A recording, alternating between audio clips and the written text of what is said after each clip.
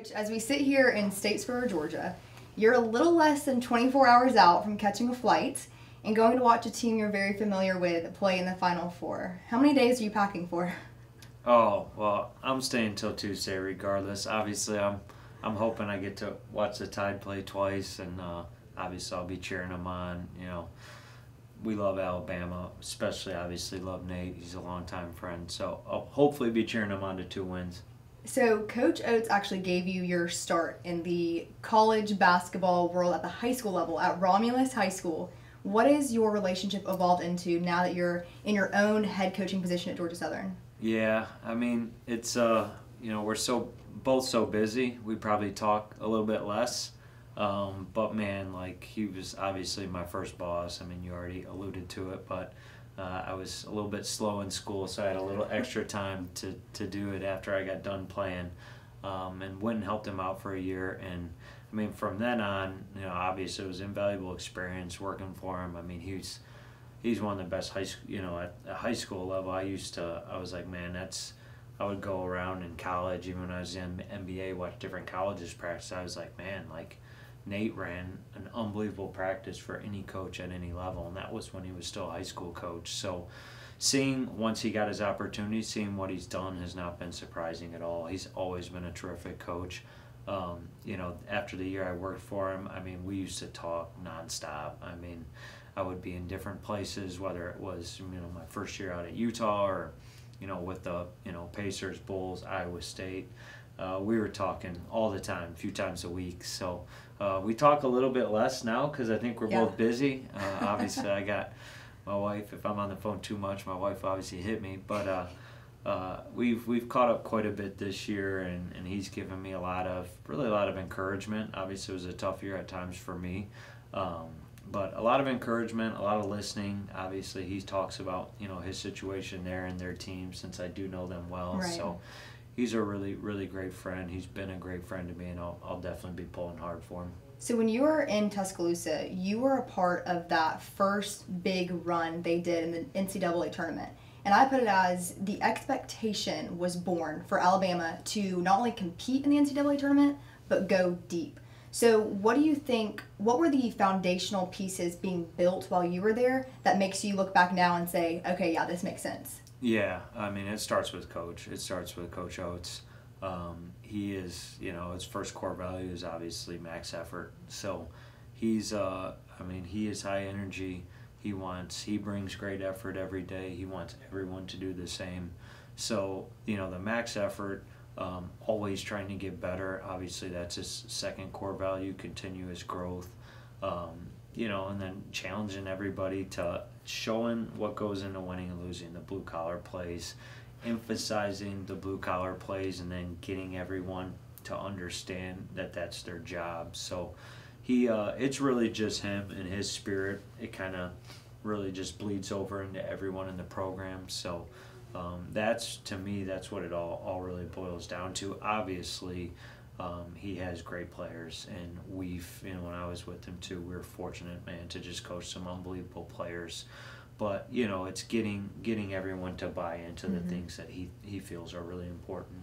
Speaking on those great players, Mark Sears. Yep. Did you expect him to be the player he is today? You know, I don't know if anyone would would say they would have foreseen this. Um, but Mark is man, he, he's a great player. I mean, he's had uh, one of the best, you know, in a year of college basketball where there's been unbelievable mm-hmm. individual seasons. You can put his right up there with anyone's.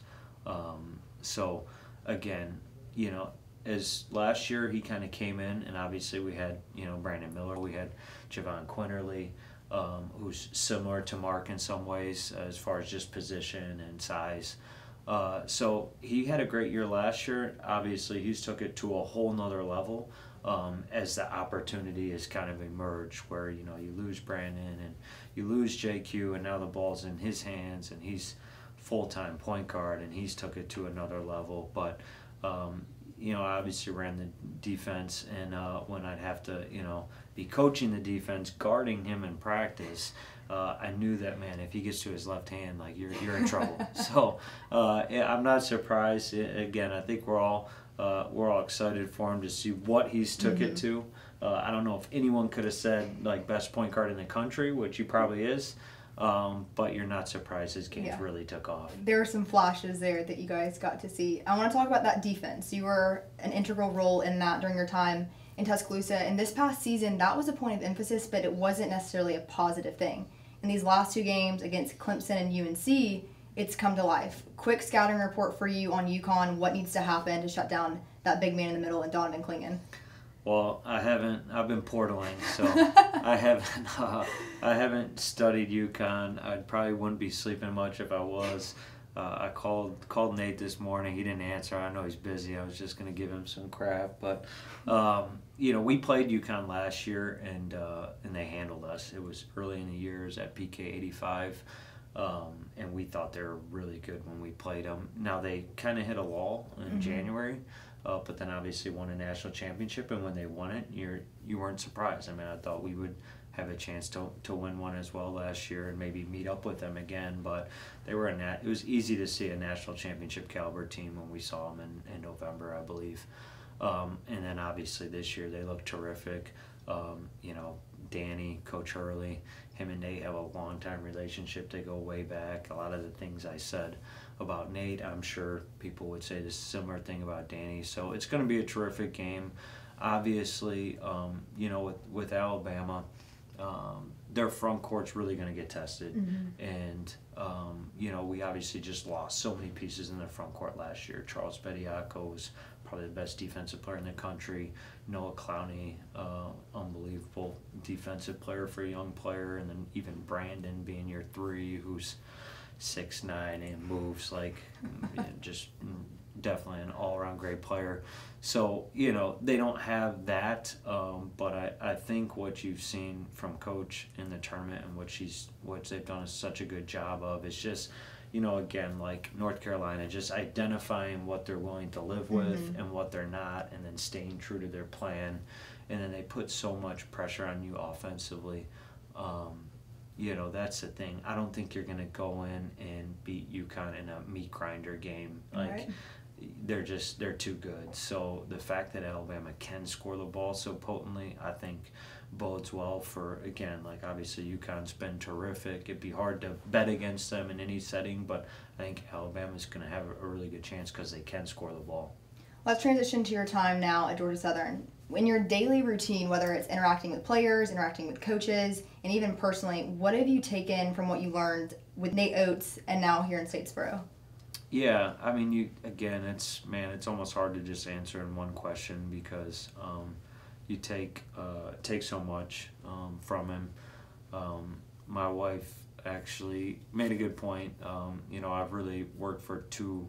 You know, I've worked with a lot of good coaches um, in my life. I've been fortunate that way, but you know, for the lion's share of my career, I worked with Fred, uh, Fred Hoiberg at Nebraska, uh, and then Nate at Alabama, and then Romulus before that. Um, and you know, my wife kind of made made a point this year. She said, you know, I feel like you're kind of healthy blend of the two. Um, you know, because Fred's very cerebral, um, whereas Nate's very fiery, passionate. Uh, you know, when I was when I was on his on his bench and the other team scored, a lot of times he would shoot his head back and say, "What happened?" You know, so. Um, he, he's awesome, uh, but honestly, it'd be too min- too much to name Yeah. Um, all the things I've took from from different people I've, I've had the privilege of working for but um, we're definitely again I mean we're trying to um, you know trying to build something here and again it's not far away and I'm, I'm not thinking of different experiences I've had Mm-hmm. For you, going from Alabama to Georgia Southern, we've got SEC to mid major in a highly competitive Sun Belt conference. The recruiting and NIL portion for you is much different than Coach Oats right now because Yeah. you're having to deal with Tyren Moore drops 30 points and has an off day. Why would someone else not come pick him up? yeah What has that been like as you learn kind of how to navigate roster management and transfer portal? Yeah, I mean it's definitely uh, obviously college sports. You know, our sport specifically, college basketball. It's definitely in a transition period, and you don't necessarily even know um, where it's ultimately going to end up. You're just kind of trying to figure this out as Yeah. you go. I think as we all are. Um, for us, you know, we're fortunate at Georgia Southern. Um, you know, our athletic director, Jared Benko, he's very proactive. Um, I think he's been ahead of things. Uh, you know, we have a collective, obviously, Eagle Nation collective. Um, you know, Leonard Bevel works tirelessly. Uh, you know, he, he takes pride in wanting to have, you know, again, the best collective in the Sun Belt. Um, you know, KVT, you know, under him. So, um, you know, again, I feel like we're ahead of things mm-hmm. and we're well equipped to adjust uh, as we're all kind of adjusting to the new landscape. Um, but I think for us, I've really tried to emphasize, uh, you know, with with our guys here, is we better have real relationships with them. So. Um, again, that's not something you can just turn on when the portal's getting right. close. It's it's every day. Like they they know me, they know our staff, they know the job we do. Um, so you know, you you better spend time developing some real relationships, and obviously they need to feel like they're they're getting better, um, creating value for themselves. Uh, so I think those two things are huge, and then the relationships with their teammates. Um, you know, and I think that's. Uh, something I, I see with our guys right now. You know, relationships with, with the coaches are they're they're good and they need to have them. Um, but it's really the bond between players. Yeah. I think that um, can give you some some consistency in this day and age. So. Um, again, we know what the reality is. Like we're, we're gonna lose some guys, as everyone is in the in the portal era.